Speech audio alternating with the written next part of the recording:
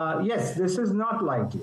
Uh, the simple fact is that it's not just about India, it's also about Brazil and South Africa.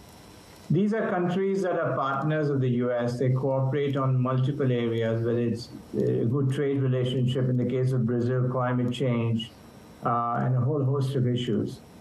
And they are not interested in picking sides. And that means uh, aligning with the US against Russia and China in most cases, although India is a, a bit of an exception on China.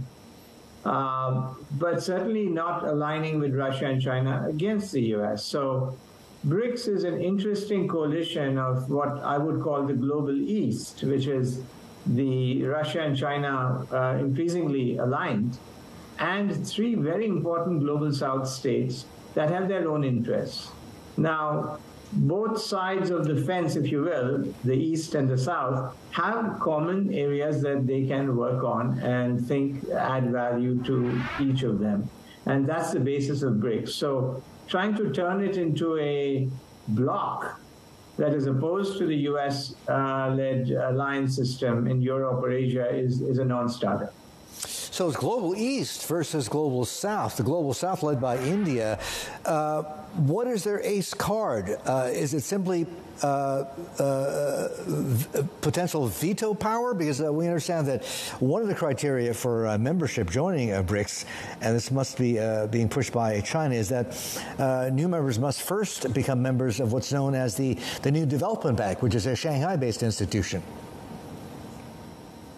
Yes, so expansion is seriously on the agenda, at least under discussion. And uh, China is most enthusiastic about pushing expansion because it is trying to create an alternative and actually a, a kind of a balancing uh, structure to the US led uh, West because we are seeing a very difficult relationship between the US and China, even worse between the US and uh, Russia.